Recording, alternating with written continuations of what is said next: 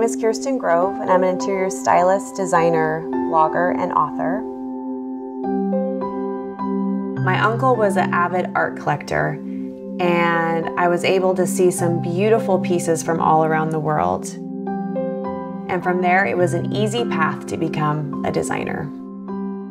When making a space feel unique, it's important to add those personal touches. Mix and match, yet staying minimal. That is the key to the magic.